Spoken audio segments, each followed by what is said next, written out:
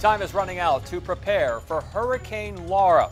More than a half million people now ordered to leave their homes near the Texas Louisiana state line Many are scrambling to board up windows and doors before they leave. But others will weather the storm. Laura is expected to make landfall as a major hurricane. Chief Meteorologist Don Slater explains what that means for the Gulf Coast. Don? It means an unsurvivable storm uh, in parts of Louisiana, especially. I want to. That's what the Weather Service has categorized it as, uh, especially in terms of the storm surge. Here's a look at the eye of the storm. I widened it out just a little bit. These are visible daylight satellite imagery, uh, and you can see what's going on in this time lapse loop. We can see right down uh, the eye of the storm, and there are little concentric circles within it as that wobbles its way onto the northwest at 15 to 20 miles an hour. And you can see a, really, really well formed hurricane uh, going on. It's really intensified just in the past 24 hours. They're getting some outer bands of rainfall that are producing brief uh, torrential downpours and wind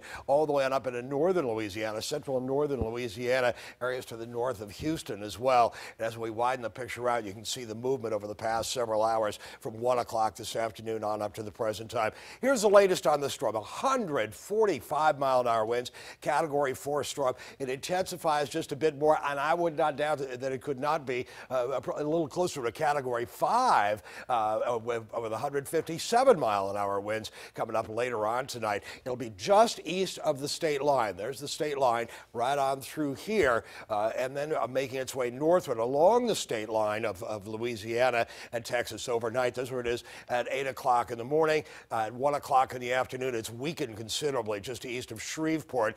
There's where it is coming up by late tomorrow night. It's a tropical storm by that point, and then it continues to weaken at generally 30, 35 mile an hour winds. Not a huge event for us. We'll have to watch it carefully as it makes its way on out to sea and away from our part of the world. We'll take, we'll take another little bit different look at what's going on with this storm system as it makes its way toward Lake Charles. That'll be coming up in just a few minutes, so stay with us with the forecast. All right, Don. Well, hurricane season is far from over. Make sure you are prepared in case the next storm is headed our way.